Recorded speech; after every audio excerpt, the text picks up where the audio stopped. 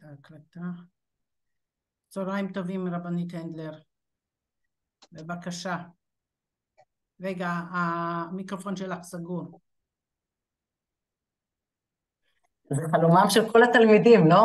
המיקרופון של המורה יהיה סגור ושלהם יהיה פתוח. טוב. תודה שאת מעלה חיוך על פנינו. תשמעי, זה... אומרים שמותר האדם מן הבהמה זה הצחוק, זה מה, ש... זה מה שנותן לנו בין השאר את הכוח. כל אחד מן הסתם מוצא את הכוחות בימים המטורפים האלה, כל אחד בדרכיו שלו, אבל אחת הדרכים זה גם ה... זה... ומי שעוקבת אחרי ה... כל מיני אה, דברים שרצים בקבוצות, אז רואים את מה שלמדתי לפני שנים ב... ב... בלימודים על סאטירה, שתקופות משבר מוציאות מאנשים הרבה הרבה יצירתיות. זה נשמע אה, אה, הפוך, זה בניגוד לפתגם העממי, שכשהתותחים יורים אז המוזות שותקות, אני לא רואה את זה ברשתות השונות ובקבוצות השונות. אני רואה שיוצא המון, אה, המון דברים. זה גם סוג שלי, אני לא מדברת עכשיו על הומור שחור. הומור שחור זה קטגוריה בפני עצמה. אני לא מדברת על זה, אני מדברת על זה שיש אה, משהו בצחוק שהוא אה, משחרר. אנחנו גם יודעים היום מבחינה מחקרית שצחוק משחרר אה, חומרים אה, אה, מרפאים, נכון. חומרים משככי כאבים, מרגיעים וכולי, ממש כימי. אז, אז זו הדרך, בין השאר אחת הדרכים להתמודד עם המצב. אוקיי. תודה. אז אני שוב מאוד מאוד אה, מעריכה, וככה שמסביבי אני אומרת, יהיה זום, אומרים, מה, יש היום כאלה שרוצות ללמוד, אז אני אומרת, תקשיבו, אתם צריכות להכיר את הקבוצה של רחובות, ו... ואז תבינו למה השאלה שלכם לא במקום. אז ממש אה, מאוד מאוד אה, מעריכה את זה, וניגש ישר לעניין שלנו. אני מזכירה את הנושא השנתי שלנו. הנושא השנתי שלנו זה לימוד פרשת שבוע על פי המדרש והפרשנות החסידית אליו, עליו. בצורה כזאת אנחנו מרוויחים שלוש ציפורים במכה אחת. אנחנו גם לומדות פרשת שבוע, גם לומדות מדרש לפרשת שבוע וגם לומדות חסידות לפרשת שבוע. אז בואו בבקשה, אה, מן הסתם הקבצים גם אצלכם, אני מעלה אותם. אה, בבקשה. אה, סוף פרשת נוח, תחילת פרשת לך לך, הם בעצם רצף סיפורי אחד, ונראה את הדברים. סוף נוח, ויחי נחור תשע ועשרים שנה ויולדת תרח, ויחי נחור יולדת תרח תשע עשרה שנה וכולי וכולי וכולי, ויחי תרח שבעים שנה ויולדת אברהם, את נחור ואת ארן. ואלה תולדות תרח, תרח הוליד את אברהם, את נחור ואת ארן, וארן הוליד את לוט. ומת ארן על פני תרח אביו, בארץ מלאתו באור כסדים. תשכחו רגע מכל המדרשים שאתם מכירות, בסדר? אני בטוחה שעל כל מילה פה אתם מכירות לפחות שלושה מדרשים. תניחו את זה רגע בצד. אני רוצה עכשיו פשט של הפשט של הפשט. ויקח אברהם בן נחור להם נשים שם אברהם, שם אשת אברהם שרה, שם אשת נחור מילכה, בת ארן אבי מילכה ואבי עסקה. ותהי שרה יקרה ולא ולד, עכשיו מה שאותנו מעניין זה פסוק ל"א. ויקח תרח את אברהם בנו, ואת לוט בן ארן בן בנו, ואת שרי כלתו אשת אברהם בנו, ויצאו איתם מאור כסדים ללכת ארצה כנען, ויבואו עד חרן, וישבו שם, היו ימי תרח חמש שנים ומאתיים שנה, וימות תרח בחרן. ואז, שבוע אחר כך, אנחנו קוראים ככה בתחילת הפרשה שלנו. ויאמר השם אל אברהם, לך לך מארצך ומולדתך ומבית אביך אל הארץ אשר הרקע. ואעשך יגוי גדול, וברכה, וגדלה שמך ויהיה ברכה. זוכר מברכך ומקלך האור וכולי וכולי וכולי. ואז, פסוק ד', וילך אברהם כאשר דיבר אליו השם, וילך איתו לוט, ואברהם בן חמש ושבעים, חמש שנים ושבעים שנה, בצאתו מחרן. רגע, רגע, רגע, לא הבנתי כלום. לא הבנתי כלום. למה? כי פה כבר כתוב לי, פה כתוב לי כבר, בפסוק ל"א, שהם יוצאים מאור כסדים ללכת ארצה כנען. ונתקעים בדרך בחרן, ואז פה כתוב, לך לך מארצך ומארצך בית אביך. אז יש לנו פה כל מיני שאלות ושאלי שאלות. כי מה קורה? אנחנו, יש לנו הפסקה של שבוע באמצע בין נוח לבין לך לך. אז אנחנו לא שמים לב לזה. אבל התורה, הרי אנחנו יודעים שרק ב, ב, רק מתקופת הגאונים, או קצת אחרי תקופת הגאונים, עשו שגומרים את התורה פעם בשנה. בעבר גמרו את התורה פעם בשלוש שנים. אז, אז החלוקה של הפרשיות הייתה אחרת לגמרי. אז בעצם סוף נוח ותחילת לך לך זה רצף סיפורי אחד. אלא מה קורה לנו? אנחנו באמצע עבר שבוע, ואתם יודעות, פה בארץ שבוע זה כמעט אה, שנה. אז עובר, אתה שוכח מה קראת בסוף נוח. ואז מתחילים לדבר על, ה, על ה, אה, מה העניין הזה של, של ארץ, שלא אומרים אל הארץ אשר אראך, ומתחילים ל, ל, לעשות על זה כל מיני רעיונות, כאשר בעצם אה, כתוב במפורש שהם עומדים ללכת לארץ כנען. אז מה כל הסיפור הזה? עכשיו עוד משהו, אם המוצא שלהם זה באור כסדים, מאור כסדים, עכשיו רגע, רק נעשה רגע עניין גיאוגרפי. אור כסדים מזוהה היום עם אזור עיראק של היום. אז בעצם כולנו עיראקים. אז זה בעצם מזוהה עם אזור עיראק של היום. חרן מזוהה עם אזור הגבול של סוריה, אה, טורקיה של היום. בעצם זה, זה אה, צפון סוריה, צפון מזרח סוריה, אה, שם על הגבול עם, כאמור עם, אה, עם, עם אזור טורקיה. ו, ו... אז אנחנו מבינים את המסלול, בואו נדמיין לעצמנו את המפה, בעצם התוכנית שלהם הייתה לעשות ככה, כן, לעלות מהאזור הדרום-מזרחי, לעלות לכיוון צפון, וצפון מזרח, ואז אחר כך להיכנס לארץ ישראל, מה שבאמת בסופו של דבר הוא עשה. הוא נכנס, לפי מדרש חז"ל, הוא נכנס מאזור של ראש הנקרה של היום, סולמה של צור, זה נקרא בלשון חז"ל. אז, אז, אז, אז אם כך בכלל, אז, אז עכשיו יש לי תילי תילים של שאלות. אחד, מלכתחילה אם הקדוש ברוך הוא אומר לו אל הארץ אשר הרקע, הוא לא אומר לו איזה ארץ? א', ב', מה החוכמה להעלים את הארץ כאשר הם בעצם כבר מראש תכננו ללכת לארץ כנען, אז מה אתה עושה כזה? זאת אומרת, אחד מהניסיונות שהתנסה אברהם, שהוא הולך לאן שהוא לא יודע, הוא יודע ויודע לאן שהוא הולך. וג', מה זה הפירוט הזה, לך לך מארצך ומולדך מבית אביך? מילא בית אביך הבנתי, אבל יוצא שחרן זה לא מולדתך וזה לא ארצך. הם בעצם נמצאים פה באיזה, אנחנו לא יודעים כמה זמן, כן? אולי אפשר לעשות את החשבון. פח, לא, יש לנו את הזמן מתי שאברהם נולד, ויש לנו את הזמן מתי אברהם יוצא לארץ, בן 75 שנה. בסדר, אוקיי, הם גרו שם איזה פרק זמן לא מבוטל. אז כאילו, מה, מה כל העניין הזה? גם הפירוט וגם העניין של הארץ העלומה, ובית, מה העניין הזה תצא, הם כבר במגמת יציאה, מה כל הסיפור הזה. ואנחנו נראה, ואנחנו נעשה פה סקירה קצרה, כי המקורות לפניכם. מי שתרצה להרחיב בזה, יש לפניכם הרבה מקורות, אין לך חכם ויחכם עוד, אז יש לפניכם הרבה מקורות שאנחנו לא נקרא את כולם, אני, כי אנחנו הרי חותרות להגיע למדרש ולפרשנות החסידית עליו. אמ, אה, ויש גם איזה אה, צ'ופרונצ'יק בסוף, ה, אה, בסוף השיעור שלנו היום.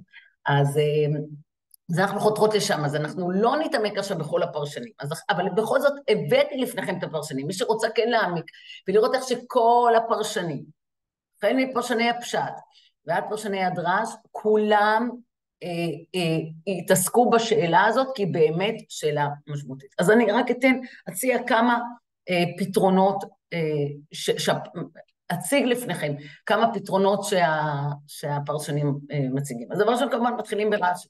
אז רש"י, הוא, הוא, הוא ידע את הסמיכות של הכתובים, כן, של, של נוח ולך לך. אז הוא אומר, מארצך, והלא כבר יצא משם עם אביו ובעד חרן, זה מה ששאלנו, אלא כך אמר לו, התרחק עוד משם וצא מבית אביו.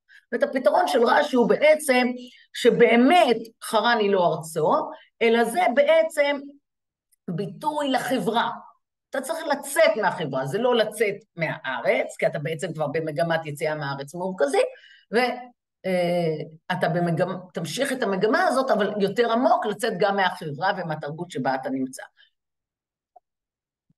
רש"י במקרה הזה לא עונה לנו אה, מה העניין של הפירוט, מארצך מולדך בית אביך, מה העניין של הארץ העלומה, כשבעצם אנחנו כבר יודעים מה הארץ העלומה, אה, וכולי.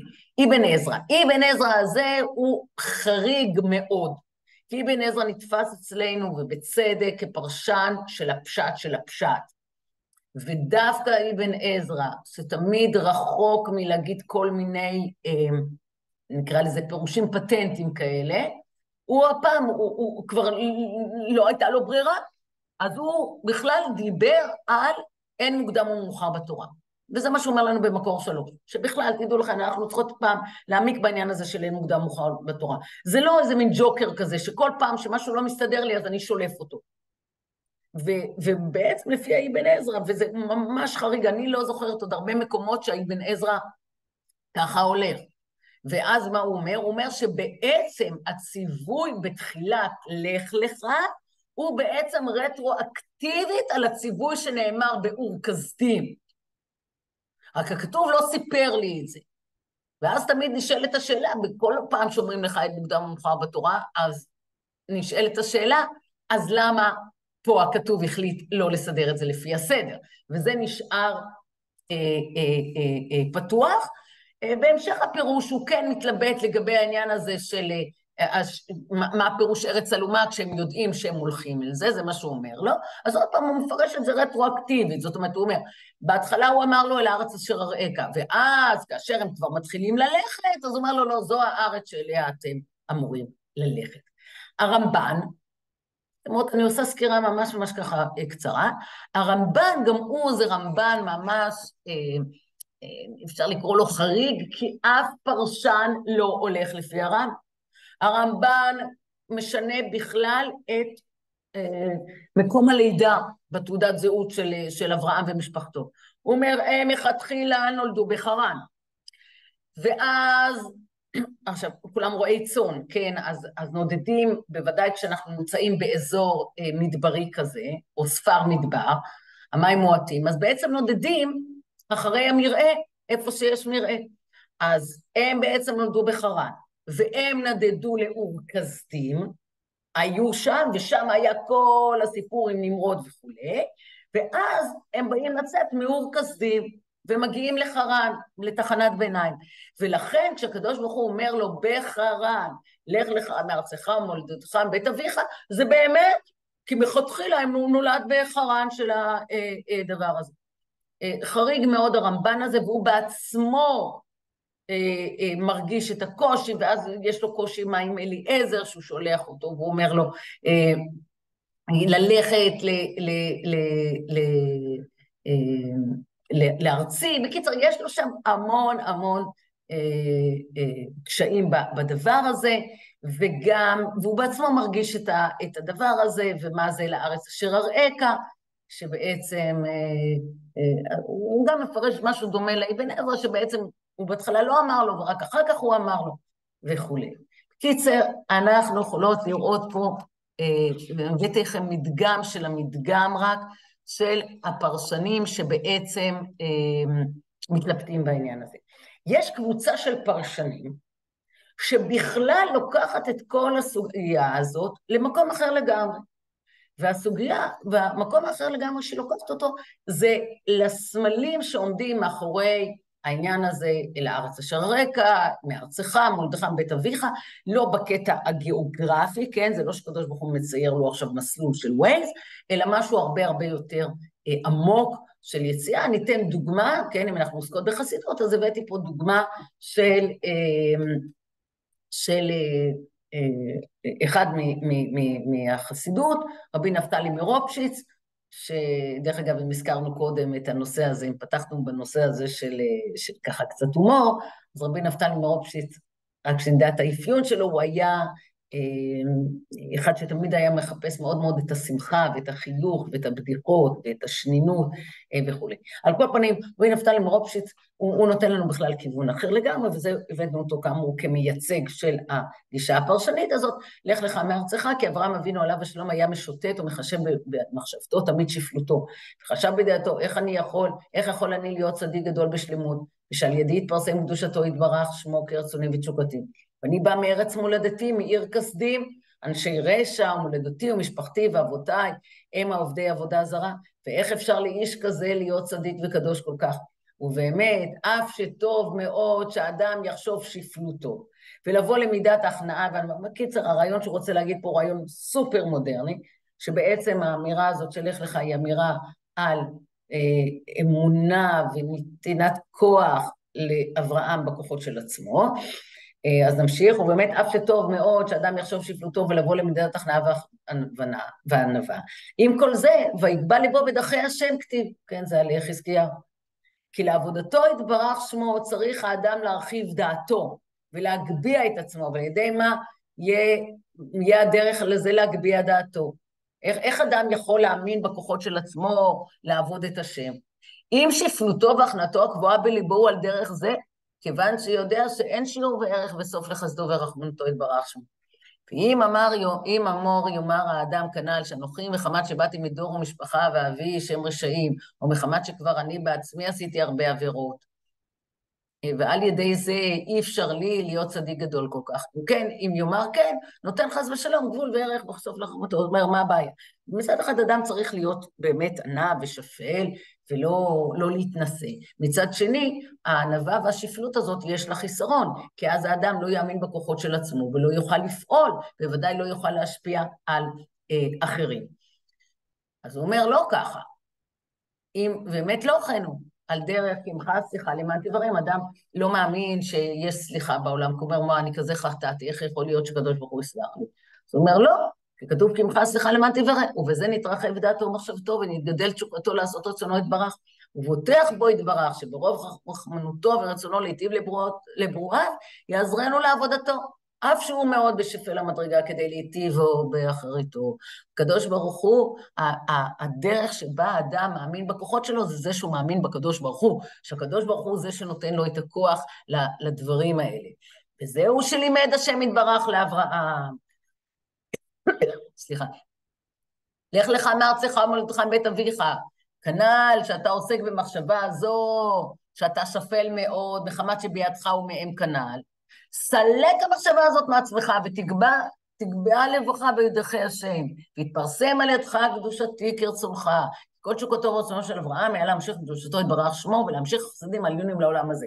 הוא אומר, כשהקדוש ברוך הוא אומר לאברהם, לך לך מארצך, זה בכלל לא קשור בעצם, כאילו, מה שעושה פה רבי נפתלי מרוטשילד, כמו שאמרנו, מייצג קבוצה של פרשנים, שהם בכלל לא מתעסקים בכלל בשאלה הגיאוגרפית או הכרונולוגית איפה הוא היה, מתי זה נאמר לו, לפני, אחרי וכולי, אלא הם אומרים, לא, כל הדיבור הזה הוא דיבור בסמלים. ובעצם הוא אומר לו, אתה צריך להתרחק מהמשפחה שלך. לא רק להתרחק מהמשפחה שלך, כמו מה שאמר רש"י, שהם חברה רעה, אלא אתה צריך להתרחק מזה, שזה שאתה הגעת ממשפחה כזאת, זה מגביל אותך, זה אה, מצמצם אותך, זה אה, אה, כובל אותך. לצאת לדרך חדשה ולפרסם את שמו של הקדוש ברוך הוא, אלא תצא מזה, אתה לא שייך לכל הדברים האלה בכלל, אלא יש לך כוחות בפני עצמך.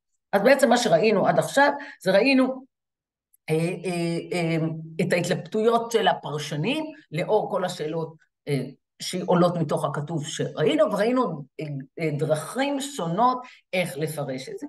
לפני שניגש למדרש, אני רוצה להציע עוד דרך אחת, שהיא מאוד מאוד מתיישבת על ליבי, ואני רוצה לשתף אתכם דרך מחקרית גיאוגרפית.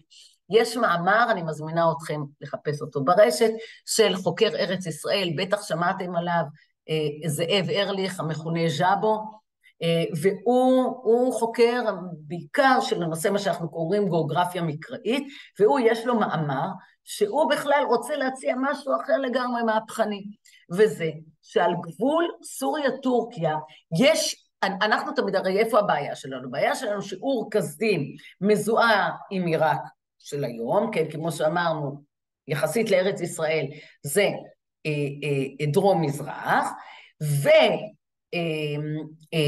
וחרן אה, היא צפון-מזרח לארץ ישראל, אז כאילו, ופה מתחילה כל הבעיה שלנו.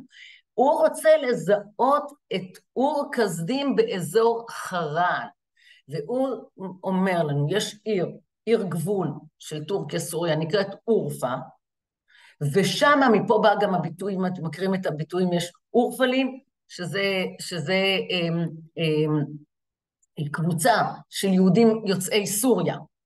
סוריה, כאמור סוריה, אזור טורקיה, זה נקרא אורפלי. יש גם שם משפחה כזה, אה, אורפלי, אורפלי, והם בעצם, המקור שלהם הוא משם. ואז מסתדר לנו לגמרי, אין שום שאלה, כי אור כסדים וחרן נמצאים פחות או יותר באותו אותו אזור גיאוגרפי, ולכן אין בעיה. והרעיון הוא שאו הם יוצאים מאור כסדים, והם בשאיפה, אבל אז מת תרח, והם נתקעו שם, ואז כשהקדוש ברוך הוא אומר לו, לך לך מארצך ומולדתך, משהו כזה, אין שום שאלה, כי באמת האזור הזה זה ארצך ומולדתך. אז ככה זה הצגנו גם עוד איזו גישה מחקרית, יופי. אז עכשיו, כל זה, זה בעצם היה סוג של מבוא למדרש. כמו שאנחנו יודעות, המדרש ידע לקרוא את הכתוב. אמנם לא היו לו פרשנים, אבל הוא ידע לקרוא את הכתוב יותר טוב מכולנו. ובואו נראה לאן לוקח את זה על המדרש. אני מראש אומרת, המדרש נראה מה זה לא, לא מתחיל בכלל קשור, אבל בעזרת השם אנחנו נראה איך שהכל קשור. אז המדרש אומר ככה, המדרש בראשית רבה. ויאמר שם אל אברהם, אל אברהם, לך לך מארצך וגומר. רבי יצחק פתח, שמעי בת וראי ועתי אוזנך ושכחי ימך ובית אביך. אמר רבי יצחק, משל לאחד שהיה עובר, ברור לי שאת החלק הזה של המדרש כולכם מכירות אותו, זה ברור, אבל את החלק הראשון של המדרש פחות. משל לאחד שהיה עובר ממקום למקום וראה בירה אחת דולקת. אמר, תאמר שהבירה הזאת בלא מנהיג, הציץ אליו בעל הבירה, אמר לו, אני הוא בעל הבירה. כך לפי שהיה אברהם אבינו, לפי שהיה אבינו אברהם אומר, תאמר שהעולם הזה בלא מנהיג, הציץ אליו הקדוש ברוך הוא ואמר לו, אני הוא בעל העולם, ויטב המלך יופייך כי הוא אדונך, ויטב המלך יופייך ליפותך בעולם, השתחוו לו הווי ויאמר השם אל אברהם. אנחנו עוד נגיע למשל הידוע הזה של רעה בירה דולקת ומה המשמעות שלה, אבל קודם בואו. בוא נראה את המבנה של המדרש. כבר היינו בשבוע שעבר, ואנחנו נראה את זה עוד הרבה פעמים, שהרבה פעמים הדרשן מפרש פסוק אחד על ידי מובאה של פסוק מספר אחר. דרך כלל זה מהכתובים. ואז הוא לוקח אותנו לתהילים, לתהילים הם אה, שהוא תהילים לא פשוט. אה, הוא בעצם אה, פותח בלמנצח על שושנים לבני כוח, משכיל שיר ידידות. וכשאומרים שיר ידידות, הכוונה שאנחנו מדברים פה על איזשהו קשר זוגי. ואז מה בעצם אומר הפרק הזה? הפרק הזה הוא בעצם, הפרשנים מאוד מאוד מאוד מתלבטים בו, אבל בגדול הפרק הזה עוסק בנישואי בת מלך לבן מלך. רכש ליבי דבר טוב, אמר אני מזה למלך לשוני עת סופר מת. יפייתה מבני אדם מוצק חן, זה עכשיו תיאור של החתן. יפייתה מבני אדם מוצק חן בספרותיך, על כן בך אלוהים מעולם. חגור עכשיו יש לו את התיאור של הגבורה, חגור חרבך על ירך, גיבור אותך והדרך, וכולי וכולי. יש פה גם את התיאור של ההתנהגות שלו, דבר אמת וצדקה. אה, הוא גם גיבור מאוד, שהוא יודע ל... להביס את האויבים, חיציך שנונים, עמים תחתיך יפלו בלב אויבי אה, המלך. גם יש את ברכת השם, כי שכה אלוהים עולם ועד, שבט מישור שבט מלכותך, וכולי. ממש תיאורים. עכשיו, מפסוק י' יש את התיאור של הבת מלך, הכלה שמגיעה. בנות מלכים בעיקרותיך, נצבע שגל ימינך בכתם אופיר, שמעי בת אוראי, זה הפסוק שמותנו מעניין, שמעי בת אוראי ועתי אוזנך ושכחי עמך ובית אביך, זאת אומרת, היא בעצם עוזבת את הבית שלה. והייתה במלך יופייך כי הוא אדונך והשתחווי לו, ואז יש תיאור שכולם באים ומשתחווים לכבוד הנישואים האלה, כן, אפילו הגויים מביאים מנחה, ובעצור מנחה בפנייך, במנחה, פנייך יכלו אשרי עם. פה מגיע פסוק, שסתם רק אני אומרת בסוגריים, שמצטטים אותו הרבה, אבל פשוט הפכו את, ה, את, ה, את הניקוד, כי בביטוי, בפסוק המקורי כתוב כל כבודה בת מלך פנימה. מה הכוונה כל כבודה? בת המלך מגיעה לארמון, ובעצם מגיעה כל הנדוניה איתה. הרבה פעמים אתם רואות בנמל תעופה, כבודה, כבודת יד. כבודה זה בעצם המזוודות שאדם לוקח. במהלך השנים שינו את, את הניקוד, ובמקום להגיד כבודה, אמרו כבודה, לקחו את זה למקום של הצניעות וכולי וכולי. אבל הפסוק המקורי זה כל כבודה בת מלך פנימה, יש ממש תיאור של כל מה ש... גם המשרתות מגיעות אה, אחרי, הריאות, אחרי הריאות המובאות לה, וכולי וכולי וכולי, ואז יהיה בסוף איזה מין אה, מלכות כזאת, שהיא מלכות שמקבלת אריכות ימים, תחת אבותיך יהיו בניך, זאת אומרת גם הבנים שלך ימשיכו, הזכירה שלך בכל דור ודור, על כן עמים יעודוך ולעולם ועד. הפרשנים וחז"ל מאוד מאוד מתלבטים על, המדרה, על המזמור הזה, מה הוא עושה בתהילים. ויש כל מיני אה, הסברים, אחד זה הנישואים של דוד לבת מלך קשור, שממנה נולד אבשלום, ועוד כל מיני הסברים אחרים, יש כאלה שבכלל לוקחים את זה למקום סמלי, שכן, כמו כל שיר השירים, שהחתן זה הקדוש ברוך הוא, והכלה זה כנסת ישראל, יש פה איזה ייחוד שבין הקדוש ברוך הוא לבין כנסת ישראל, ועוד ועוד ועוד, אנחנו לא עוסקות עכשיו בטילים, אז לא נרחיב את זה. מה שאותנו מעניין, זה מעניין אותו פסוק שהמדרש דרש אותו, פסוק י"א, אמי בת אוראי, אה, אה, ועתי אוזנך ושכרי עמך ובית אביך. יש גם את ההמשך אחר כך, אה, כי הוא, ויטב המלך יופיח, גם פסוק י"ב נדרש, אבל אנחנו נתעמק יותר בשמי בת אוראי ועתי אה, אוזנך. בעצם, על, לפי הדרשן, עכשיו אני הולכת על הפשט של המדרש, תכף נראה את העומק שלו, לפי הפשט של המדרש, שמי בת אוראי, ועתי אוזנך ושכרי עמך ובית אביך, זה בעצם מקבילה ללך לך מארצך ומלומדתך מבית אביך. אז מן הסתם, הדרשן, המילים פה בית אביך, והמילים לאברהם מבית אביך, מן הסתם היו נשמעות לו אה, דומות, ולכן הוא דרש את מה שהוא דרש, והוא עשה השוואה בין הדברים האלה. זאת אומרת, הציווי לאברהם ללכת מקביל לציווי שאומרים לבת מלך, זה שכחי עמך ובית אביך, וככה גם הסביר אחד מפרשני המדרש, המארזו, זה רבי זאב וולף, זה בערך פרשן של המדרש אה, ב- לפני, לפני כמאה, כמאתיים שנה. אה, אני מאוד אוהבת את הפירוש שלו, נקרא מארזו, אני מאוד אוהבת אותו, כי הוא במגמה להראות איך דברי חז"ל בעצם טמונים בתוך הכתוב. וזו בעצם הייתה קריאה של חז"ל את הכתוב. הוגשה לו מה שנאמר, לך לך מארצך ומולדתך מבית אביך, שהיה לו לומר בהפך, לך לך מבית אביך ומולדתך ומארצך, כי איך בן אדם הולך פיזית? בן אדם עוזב מקום, איך הוא הולך? קודם הוא עוזב את הבית, אחר כך הוא עוזב את העיר, ואחר כך הוא עולה, עובד, עוזב את הארץ. ככה המגמה הזאת, כך פיזית זה הולך על הדבר הזה. אז הוא אומר, על כן דרש, זה בעצם היה צריך להיות הפוך. על כן דרש הכוונה על הליכה והעתקת הנפש. שתעזוב ותשכח מנהגי ארצה. אם כן, הסדר בהפך תחילה, סליחה, בהפך. תחילה שוכרים מנהגי ארץ, ואחר כך של המשפחה, ואחר כך של בית אביב, אנחנו יודעים. יש לנו דברים, וזה לא משנה בני כמה גילאים אנחנו, יש לנו דברים שאנחנו סוחבים מבית הורינו, גם אם אנחנו כבר בני שמונים. וקשה, קשה להפסיק מנהגים.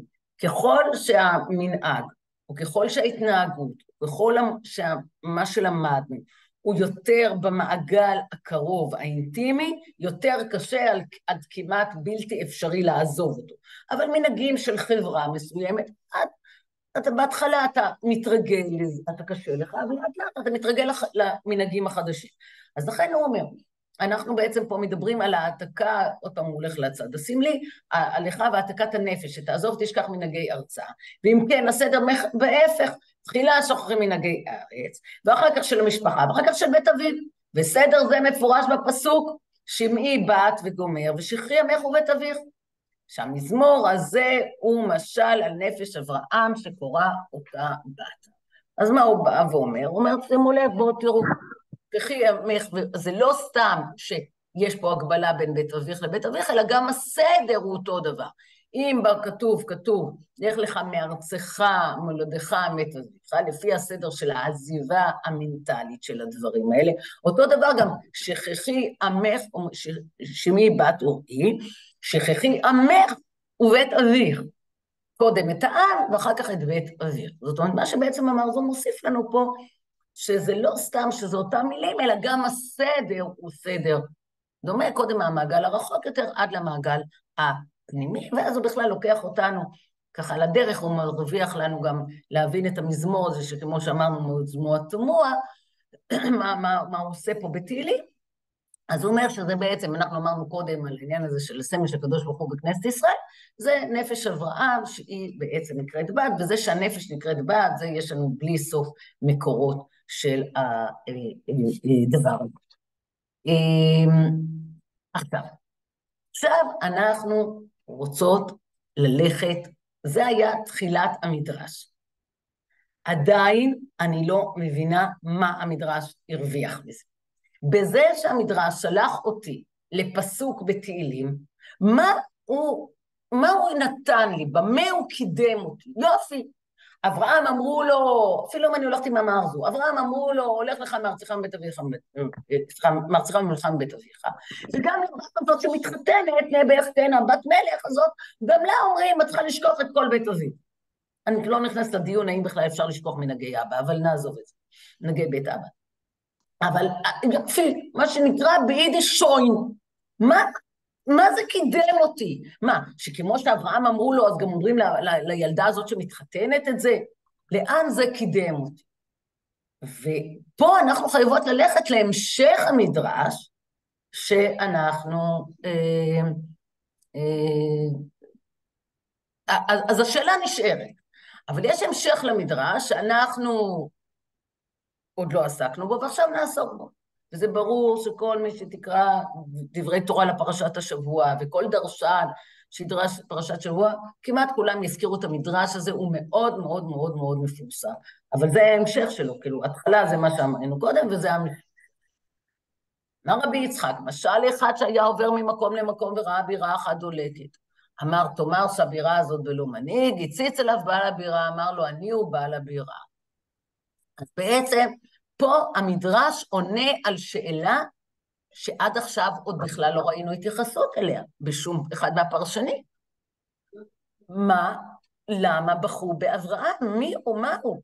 לעומת נוח, שבפרשה הקודמת ראינו שקדוש ברוך הוא אומר לו פעמיים, כי אותך ראיתי צדיק לפניי בדור הזה. כן, זאת אומרת, יש איזה תיאורים פה.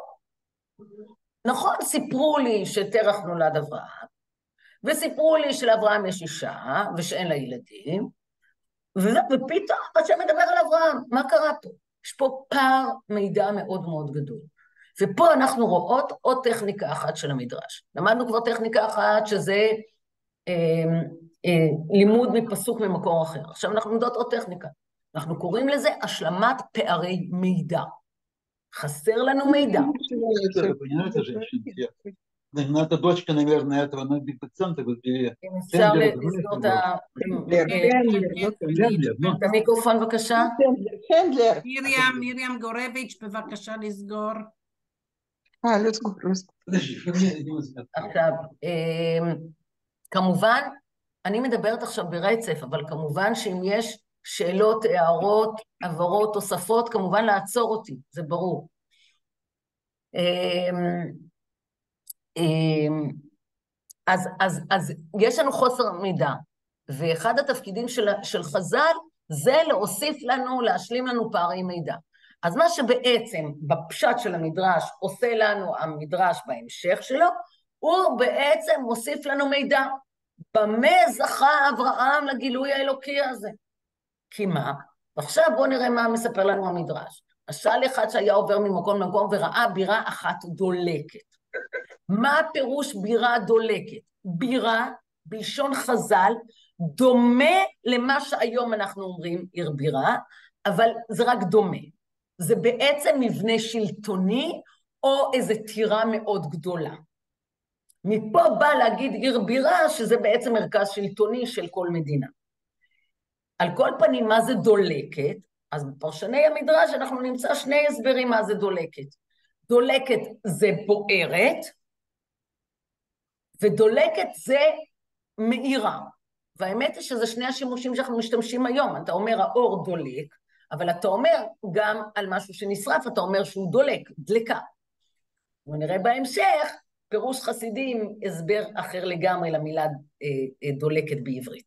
על כל פנים, בפשט של הסיפור, עכשיו מספרים לנו, בפשט של המדרש, למה אברהם זכה לגילוי שהוא זכה? בגלל שהקדוש ברוך הוא, סליחה, בגלל שהוא חיפש את הקדוש ברוך הוא.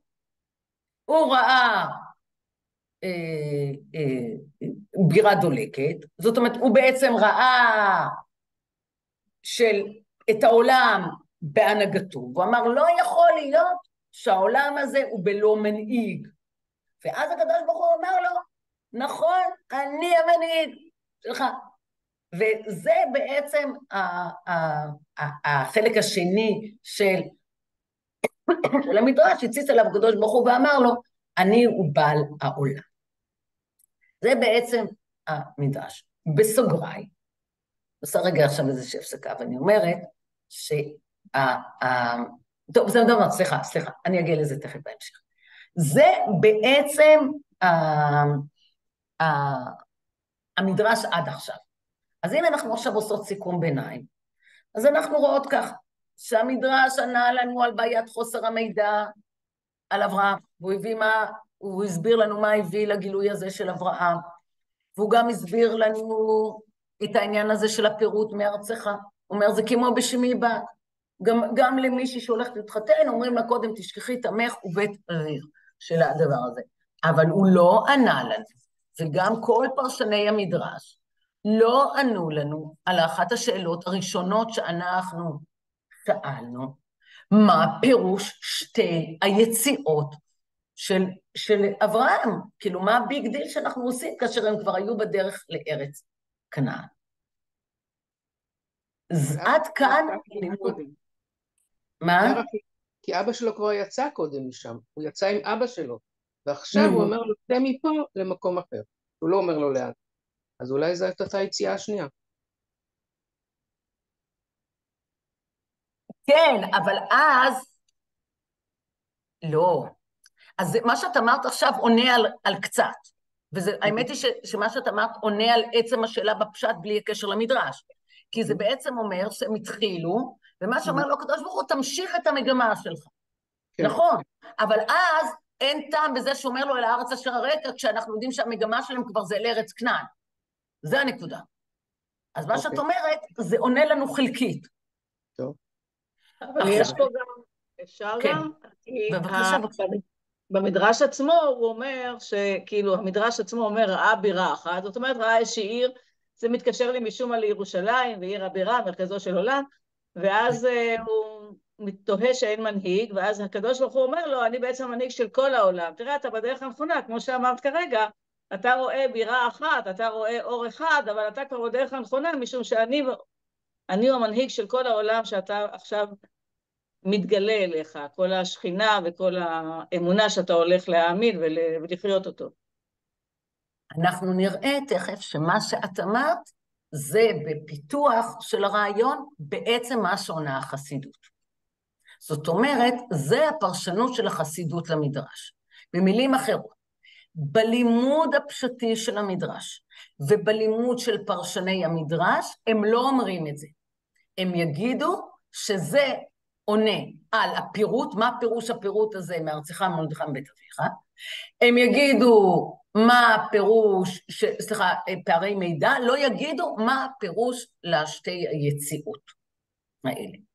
ופה נכנסת החסידות. עכשיו, כשהחסידות באה לפרש מדרש, אז אנחנו נמצא כל מיני מודלים. אנחנו נמצא לפעמים שהיא מהפכת, לפעמים שהיא מוסיפה, מעמיקה, מרחיבה, במקרה שלנו היא מוסיפה. בואו נראה בבקשה את העניין. בעיקר תדגיש החסידות את העניין של השתי יציאות, ובעצם תתפור את הכל ביחד. ותראה איך המדרש, לפי דעתה, בעצם לזה כיוון, שבעצם בזה שהוא לקח אותנו למדרש של שמי בת וראי, והיא תעשה את ההפרדה בין שמעי לבין ראי. אה, הוא, הוא, בזה שהוא אה, סיפר על הבירה הדולקת, כל הדברים האלה הם בעצם, אה, הם בעצם עונים, אז המדרש בעצם ענה על כל השאלות. מי שהכי עוסק בזה הרבה, דווקא במדרש הזה, זה בתורת גור, בעיקר שפת אמת, בואו נראה אותו בבקשה. במדרש שמעי בת וכולי, בירה דולקת וכולי. דקשה הפסוק, שמעי, ואחר כך עטי אוזנך. כן, אז זה בעצם היה צריך להיות הפוך. אתה קודם אומר למישהו, תטה את האוזן, ואז אתה שומע. טוב, אנחנו עושות היום, האמת היא שאתם כבר בטח עובר לכם בראש, שזה הפער שאנחנו עושות היום בין לשמוע לבין להקשיב. למה זה יכול להיות, זה יכול להיות שאתה שומע משהו ברקע, ואז אתה, רגע... ואתה אומר, אה, וואו, נכון. וואו, יש פה מה להקשיב יותר טוב, נכון. אך דכתיב אל הארץ אשר הרקע, ולמה לא הראהו מיד? למה הוא לא אמר לו מיד? זאת אומרת, עכשיו הוא יתפור לנו את כל השאלות ביחד. בעניין כי יותר נייך, יותר טוב לשם יתברך מהרצון והתשוקה שיש לכל איש ישראל להתקרב אליו ולהשיג דברי תורתו מאחר דעתו, כי הרי זה הרצון מזכהו להתקרב ולהשיג, וסדר איש ישראל, על ידי שמשתוקק להשיג ולשמוע בקולו יתברך, זוכה לשמוע. ואחר כך צריך להכניס ההשגה בעומק הלב, שתביאהו לתת לב יותר בעומק, להיות תשוקתו יותר לשמוע, ויזכה לשמוע יותר. מה הוא אומר פה? וואו, וואו, וואו, הוא אומר פה רעיון חסידי עמוק מאוד, שהוא רעיון יסודי בעבודת השם. וזה שבעצם יש פה איזשהו מעגל, או יותר נכון להגיד פה איזושהי ספירל. זה מתחיל מזה שהאדם רוצה. זה מה שהוא אומר. האדם רוצה. אחרי שהוא רוצה, הקדוש ברוך הוא רוצה להתקרב אל הקדוש ברוך הוא, ואז הקדוש ברוך הוא נותן לו משהו. אבל, אז משהו מתמלא לו, אבל אז יש לו שאיפה לעוד, ואז הקדוש ברוך הוא ממלא לו את השאיפה, ואז יש לו שאיפה לעוד ועוד, וכל הזמן ככה תנועה ספירלית. וזה העומק שבין שמעי לבין עתי אוזנך. שמעי זה התשוקה הראשונה. אדם רוצה לשמוע. ואז הקדוש ברוך הוא, כמו שאמרתם, אז הוא אומר, וואו, וואו, יש פה איזה עומק, ואז הוא מטה את האוזן. וזה מה שהוא אומר, וכן תמיד, ועינייך, כי אדם לעמל יולד. כאילו, כל הזמן אנחנו באיזה חיפוש מתמיד, ומנוחה לצדיק בעולם הבא. ובעולם הזה רק היגיעה ממדרגה למדרגה. יש פה עומק מאוד מאוד גדול. אנחנו רגילים וזה קשור לכל נושא החיפור, זה קשור גם לנושא של שיר השירים וכולי. אנחנו רגילים לתפוס חיפוש כריק, כמשהו שהוא חסר. אבל בתפיסה החסידית, עצם החיפוש זה כבר התמלאות, וזה העומק של ישמח לב מבקשי השם. כי אם זה היה בתפיסה שלנו, היה צריך להיות כתוב, ישמח לב מוצאי השם. מה זה מבקש? כשאדם מחפש משהו, כשאנחנו מחפשים משהו שעבד לנו, אני מתמלאת מזה, מה פתאום? אולי מתמלאת עצבים, אבל לא מתמלאת משהו בנפש שלי. לאדם, לאן שאדם רוצה ללכת, לשם הולכים אותו. כן, ואיך איך, איך, איך זה מתקשר? כאילו, איך... אז איך זה הרצון, הרצון הפנימי, הרצון הראשוני, הרצון הפנימי, ואז הוא הולך, והקדוש ברוך הוא מלווה אותו לאורך כל הדרך, מוליכים אותו, עוזרים לו, נותנים לו. אבל זה, זה הרבה מעבר לדבר. פה זה יותר עמוק, נכון. זה הרבה מעבר לדבר הזה. זה חיפוש מתמיד, שעצם החיפוש ממלא. זה העומק פה בדבר הזה. ומי שהייתה איתנו בשנה שעברה, אז אם אתם זוכרות, למדנו את תורת היקע. של, של רב נחמן, ודיברנו על שכשאדם אומר, איה מקום כבודו, זה לא כשאלה, אלא איה שווה מקום כבודו. כי כשאדם מחפש את ריבונו של עולם, זה עצמו כבר הוא מוצא את הקדוש ברוך הוא. עצם החיפוש ממלא. וזה קשור לכל תפיסה של שיר השירים שלא ניכנס אליה עכשיו, אנחנו תופסים הרבה פעמים בתפיסה הפשטית את שיר השירים כמגילת החמצה, כן, כשהיא רוצה, הוא לא רוצה, כשהוא לא רוצה, אז היא רוצה, ו- וכולי כל הזמן, ואז בסוף איך נגמר שיר השם? ברח לך דודי. אז זה נתפס לנו כאיזה מין גילת החמצה כזאת, מאוד. לא, אלא בגלל שחיפוש תמידי. אבל עוד פעם, צריך לדעת, זה לא החיפוש הזה שהוא ללא מוצא, זה חיפוש ספירלי. זאת אומרת, מחפשים, מוצאים, אני לא נשאר באותו מקום, ואז אני עוד פעם מחפש, אני כל הזמן עולה דרגה, כל הזמן הדבר הזה, וזה מה שהוא אומר. ובעולם הזה רק היגיעה ממדרגה למדרגה, זה הספירלה שדיברנו. וזה שנאמר בירה דולקת. והיה חידוש בעיני אברהם, כי כל דבר צריך להיות במקום מנוחתו, והוא שורשו אומר, מה, מה, מה קורה פה? כי בעירה כזאת, בין אם היא מוארת, אבל בוודאי אם היא בוערת, זה, זה משהו שלא כסדר, זה משהו שלא נע. ושיבו הקדוש השם יתברך, כי כן רצונו יתברך שבעולם הזה יהיה רק יגיעה ולא מנוחה. וזה אשר הרקע. אנחנו נרחיב ברעיון הזה, בעזרת השם, בפרשת וישב, כן, יגיעה ולא מנוחה. וזה אשר הרקע.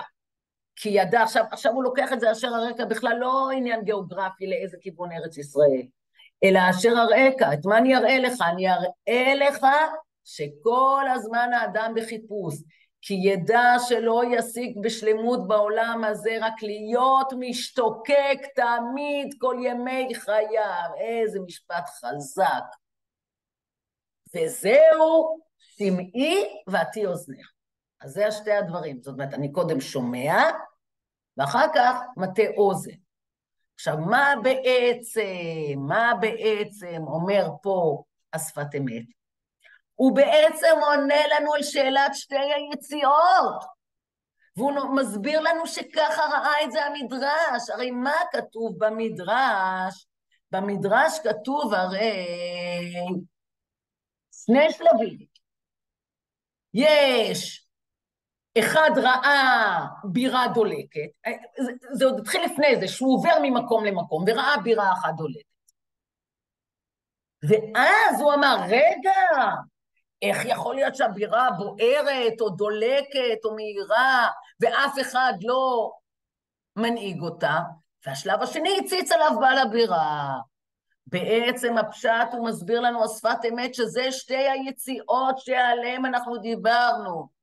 היציאה הראשונה, ללכת לארץ כנען, מאור כסדים, היא בעצם השיטוט והחיפוש והשאלה, ואז מתגלה אליו הקדוש ברוך הוא בתחילת ולך לך, אני הוא בעל הבירה. זאת אומרת, בעצם שתי היציאות הפיזיות האלה מסמלות שתי תנועות בנפש. התנועה הראשונה בנפש היא תנועת החיפוש, הרצון לקבל, להביא, להסתכל, אתם יודעות עוד לפני החיפוש, פתיחת העיניים. כי בואו נחשוב, אם הארמון הזה, בין דולק, בין מאיר, עוד הרבה אנשים היו צריכים לראות את זה, למה רק אברהם שאל? זה העומק. העומק זה תפתח שמעי בת ותהי אוזנך, תפקחי את העיניים, את האוזניים, תראי מה קורה פה, ואז ממילא שואלים שאלות.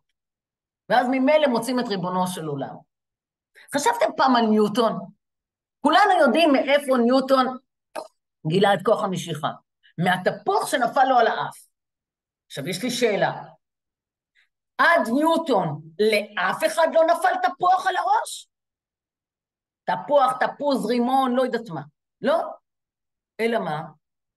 נפל, ומקסימום עצבן באה ולכלך, והמשיכו הלאה. אבל ניוטון, להבדיל, היה פה כמו אברהם.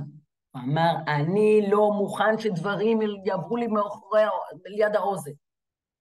זה לשמוע ולהגיד, רגע, רגע, רגע, מה אני שומע פה? מה אני רואה פה? וזה עתי אוזניך. זה השמיעה יותר, כי אני מבין, כמו שאמרתם פה קודם, כי אני מבין שיש פה משהו. זה העומק הזה של אברהם. עד כדי כך שחז"ל אומרים שכשנאמר הציווי לך לך, זה, זה קול שהלך בכל העולם. היחיד ששמע אותו זה היה אברהם. זה בדיוק העניין של, ה, של הדבר הזה. זה אותו החיפוש הזה שעליו הוא מדבר. עכשיו בואו נחזור לשפת אמת, יש שם איזה פנינה בסוף. אומר השפת אמת, שמעתי מאדוני... הרבנית, הרבנית, אבל הראייה אינה דומה לשמיעה. נכון, זה תכף... השמיעה היא יותר, הראייה יותר חזקה מהשמיעה. א', זה מאוד מאוד תלוי יש אנשים שהערוץ השמיעתי יותר חזק אצלם, יש אנשים שהערוץ החזותי, ואנחנו מכירים את זה גם בדפוסי למידה. יש ילדים שיתפסו יותר דברים אם אתה תראה להם את זה חזותי, ויזואלי, ויש כאלה שיותר שמיע, שמיעתי. זה, זה לא חד משמעית מה שאת אומרת, זה נכון שמקובל בתקשורת להגיד שמילה אחת שווה אלף, סליחה, שתמונה אחת שווה אלף מילים. אבל זה לא, זה לא חד משמעי הדבר הזה, תכף אנחנו נראה אה, שהשפת אמת אה, מדבר על זה, אבל, אבל בואו נחזור. כן, בבקשה. יש שמיעה פנימית, זה הכוונה פה, שמיעה פנימית. כן, אבל השמיעה... הראייה פנימית, הראייה פנימית, סליחה, הראייה כן, פנימית. כן, אבל היא מגיעה ממשהו חיצוני שאתה שמת לב אליו. זו בדיוק הנקודה. זו הבירה הדולקת שאיך אף אחד לא שאל עליה קודם. זה התפוח שנפל לי ניוטון על הראש. בדיוק הדבר הזה. זהו. זה הדבר הזה. תמיד בעלי בהקשר הזה אוהב לספר שהוא היה בישיבה התיכונית שלהם, אז, אה, אז לימד אותם רם מאוד מאוד מאוד מאוד מבוגר, עמוק בשנות ה-80. הוא לא ידע את השמות של התלמידים. קיצר, היה ככה קצת מנותק מהאנשים. ואז תמיד תחילת שיעור היה ש... שהוא היה פונה למישהו והיה אומר לו, תסביר את הגמרא. נו, אז אף אחד לא רצה להסביר את הגמרא. בקיצר, יום אחד הם החליטו שכולם, כן, אתם מבינים, בחורי ישיבה, שכולם אה, מורידים, אה, בגלל שהוא לא ידע את השמות, אז מורידים את הראש ככה שהוא לא יוכל לפנות, כי ככה תמיד הוא היה פונה והיה אומר אתה, אתה, כי הוא לא ידע שמות. הוא היה רואה מישהו בפרצוף, הם הורידו כולם את הראש. או. ואז, מה הוא עשה? הוא גם לא היה פראייר, למרות שהוא היה כאילו מבוגר מדי לחינוך, אז הוא פשוט אמר מילה לאוויר, אתה.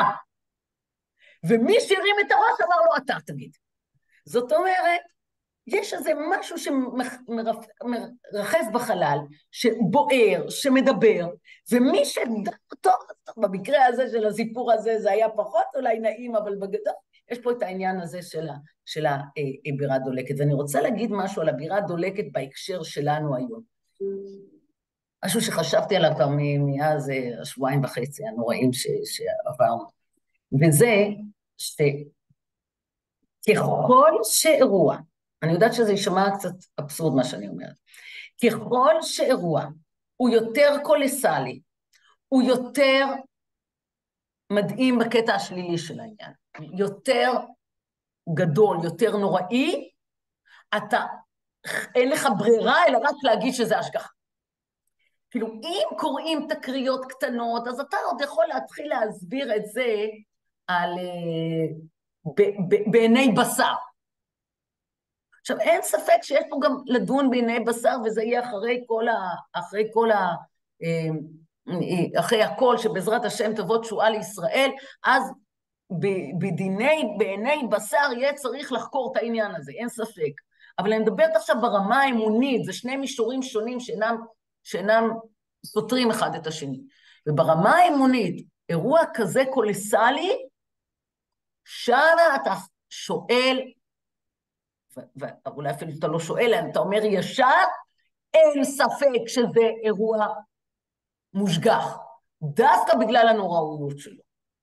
וזה ממש, אתה, אתה רואה את, ה, את, ה, את הדבר הזה, ואתה לא יכול שלא קופץ לך אה, אה, אה, הפסוק בתהילים, אם השם לא ישמור עיר שב שקד שומר. ממש אתה רואה את כל, ה, את כל הדבר הזה. אז זה ככה היה סוגריים בקישור לענייננו, ובואו נסגור רגע את השפת אמת, שהוא זה קטע, זה, זה משפט חזק יותר. שמעתי מאדוני אבי זקני, זה הסבא שלו, כי שפת אמת היה יתום, הוא גדל את הסבא שלו, חידושי ערים.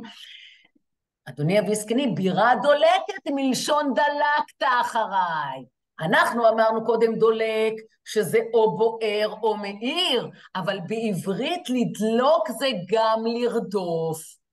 אז הוא אומר, בירה דולקת מלשון שדלקת אחריי, שכל דבר משתוקק ורודפת תמיד אחר השלמות.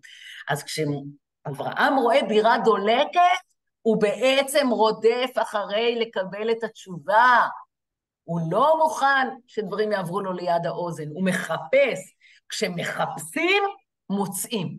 זה בדיוק מה שאומר הפרשנות החסידית לאור המדרש. זה בעצם שני השלבים של הגילוי האלוקי עם שני השלבים של היציאה. יש פה עוד כמה קטעים, משהו דומה הוא אומר בקטע 11, ואני אגיד את הדברים בעל פה בהמשך. שני הדברים האלה, סליחה, השלבים האלה של החיפוש, מסתדרים לנו מאוד עם הרמב"ם. כי הרמב"ם בעצם מדבר על שלבי החיפוש של הקדוש ברוך הוא. של, הוא הולך מתחילת הבריאה, איך הידרדרו מאדם הראשון לעבודת כוכבים, ואז איך בעצם אברהם מפיץ, מאמין ומפיץ את האמונה באל אחד. ואז מספר לנו פה הרמב"ם על זה שבעצם כשאברהם גדל הוא מתחיל לשאול שאלות של הדבר הזה. זה בעצם מה שאומר לנו הרמב"ם פה, כן, בהלכות עבודת כוכבים, במקור 12. אז הדברים האלה מאוד מאוד מאוד מסתדרים לנו עם הדבר הזה. זאת אומרת, אתה, אתה מתחיל לשאול שאלות, ואז עונים לך, ואתה לא מקבל את התשובות הנכונות, ואתה ממשיך עוד לשאול ועוד לשאול ועוד לשאול, עד שאתה מגיע לתובנה. הגעה לתובנה, זה הציץ עליו בעל הבירה. זאת אומרת, עצם זה שאדם מגיע לתובנה הפנימית שלו, זה בעצם סוג של גילוי אלוקי. נכון שאצל אברהם, הגילוי האלוקי הזה נאמר במפורש, לך לך, אבל בעצם כל אחד, זה בעצם מדבר על כל אחד שעובד השם, עצם זה שאדם מחפש, ויכול להיות שהוא לא מוצא תשובה פה, מוצא תשובה חלקית שם, והוא ממשיך לחפש, ואז פתאום לפעמים ברגע אחד, לפעמים זה לוקח תהליך, לפעמים ברגע אחד נופל לו האסימון, והוא מרגיש את הדברים מפה, זה הגילוי האלוקי, זה הציץ עליו בעל הבירה. זה בעצם התהליך הפנימי שהשפת אמת מדבר בעקבות הרמב"ם. פה במקור 13 הוא עושה את ההבדל בין שמעי לבין עטי אוזנך וכולי. לא, לא אכנס... יגע, רבנית, יגעת ומצאת תאמין. לגבי יגעת ומצאת תאמין, אז אנחנו פה חייבות להגיד את הפירוש החסידי, שמדבר על זה שבעצם אין, בחיים שלנו אין, אין, אין התאמה בין יגיעה למציאה, בין השקעה לבין תוצאה שלו, והחסידות לקחה את זה, ודיברנו על זה, מי שהייתה איתנו שנה שעברה, דיברנו על זה שאתה יוגע במקום אחד ואתה מוצא במשהו אחר. פה אנחנו מדברות על משהו אחר, אנחנו מדברים על מישהו שמחפש, מחפש, מחפש, מחפש, ואם הוא מחפש באמת, אז הוא גם ימצא. זה בעצם השלבים השונים של שואלים, דבר ראשון, לפקוח את העיניים ולשאול, ואנחנו יודעות שזה בעצם אתם יודעות, בתור אחת שמגיעה מהאקדמיה כל כך הרבה שנים, הדבר הראשון שבאקדמיה זה לשאול שאלות. ודרך אגב, זה גם יהודי מאוד. אתם יודעים, שואלים יהודי, למה אתה עונה על כל דבר בשאלה? אז הוא אומר, למה לא? יהודי שואל שאלות. לשאול שאלות זה כבר חצי דרך. אנחנו יודעות, שאלה טובה זה חצי תשובה. כי אתה פתוח, כי עצם זה שאתה שואל שאלה, זאת אומרת, אתה לא מוכן לקבל דברים כמובנים מאליו. כמובנים מאליהם. ואז ברגע שאתה שואל, אתה תהיה גם מוכן לפתוח, נכון, לא כולם, אבל אם באמת אתה שואל, אז אתה תהיה מוכן לקבל תשובות. אתה פתוח לתשובות, ברגע שאתה פתוח לתשובות, אתה גם תמצא אותה. וזה ממש ממש היהודי, העניין הזה של לא לקבל שום דבר, לשאול על כל דבר, להיות איפכא מסתברא, זה העומק של אברהם העברי, כל העולם בעבר אחד והוא בעבר השני. לא לפחד מלשאול שאלות, גם במקום שכולם חושבים את אותו דבר. זה בדיוק מה שהיה אברהם. הוא אומר, רגע, רגע, אתם לא רואים? הבירה דולקת. מה אתם אומרים שזה לא משנה? וזהו, וזה בעצם העניין הזה. זה עצם, זה התנועה הראשונה. אפשר להוסיף משהו? אפשר להוסיף משהו? ששאלת שאלות היא לא נגמרת. גם אחרי שמקבלים את התשובה או את הידע הבסיסי הראשון, אז מתעוררות שאלות חדשות יותר מתקדמות. והלאה והלאה, שאלת השאלות מקדמת עד אינסוף. וזו אותה תנועה ספירלית שאנחנו דיברנו. אלא מה? רק דבר אחד צריך להיזהר, שיש לפעמים שמרוב איפכא מסתברא ומתוך שאלות, אתה אפילו לא נותן לשום תשובה להיכנס אליך. ופה אנחנו מדברים על תהליך נפשי יותר עמוק. לשאול שאלה, לשמוע את התשובות, להפנים אותן, ואז לשאול עוד פעם. כאילו משהו, תנועה אה, כזאת, ולא כל הזמן לחזור על, ה, על, על עצם העניין הזה של השאלות. אז אם אנחנו מסכמות את מה שעשינו עד עכשיו, אז ראינו בעצם את הקושי בפשט של הכתובים, ראינו את הפרשנים שעונים כל אחד אה, בדרכו, ראינו את המדרש שעונה לנו רק חלקי, ואיך החסידות בעצם תופרת את הכל ומדברת בעצם על תהליכים נפשיים רוחניים בחיפוש הקדוש ברוך הוא. ולסיום, וזה ה... ה... וזה הכיפר שאני הבטחתי בסוף, אנחנו, רגע, שנייה, ולסיום, יש לנו צ'ופר, רגע, וזה שיר. רגע, רגע, רגע, שנייה, הנה. רגע, שכחתי לעשות שאפשר יהיה לשמוע את המוזיקה, שנייה, שנייה, שנייה. אה, אה, אה.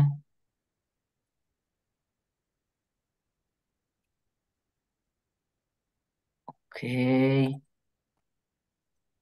שיר של יורם טהרלב, נכתב לפני שנים רבות רבות, והמעניין הוא שהוא בכלל חשב שאף אחד לא מכיר את השיר הזה, והתברר שהשיר הזה מאוד מאוד מאוד ידוע בציבור הדתי. וזו הייתה לו הפתעה, זה הוא מספר באתר שלו. אז בבקשה. שומעים?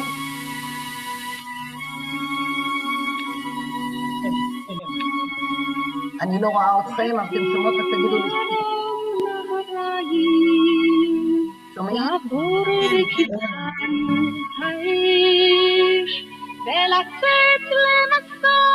הנצח עם מים ולחם יבש, לעקות את הבן, את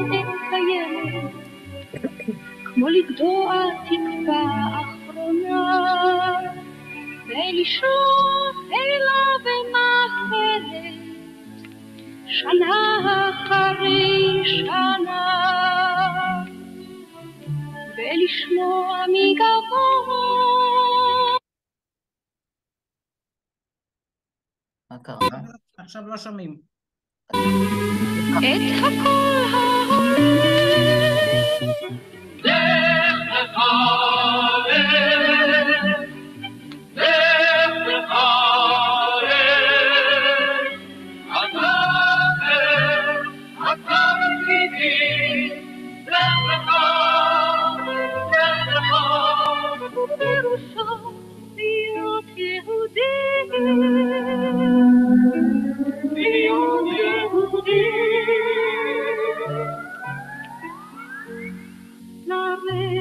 מפה למצרים ולצאת ממצרים לפה בלי לדעת אם בירושלים יבוא המסע אל סופו להיות גם נגיד וגם נדר, ושר בחצות ספרד, אז תמיד להרגיש אחרת, מונחת עלי צווארך. ולשמוע מגבוה את הקול ההולך הבית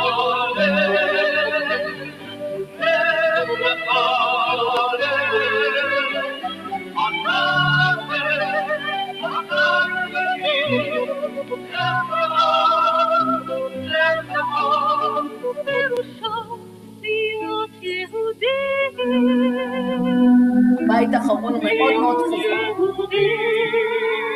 מדבר על התנועה הזאת המתמדת להליכה בחיפוש. תמיד לחכות שיגיע הכל שיקרא גם לך, לדעת כי בית אביך לעד לא יהיה ביתך, ולנוע מארץ לארץ, אך לצאת כחותם ושבועה, את זכר אותה ארץ, אשר עמודיה שבעה, ולשמוע מגבוה את הקול ההולך,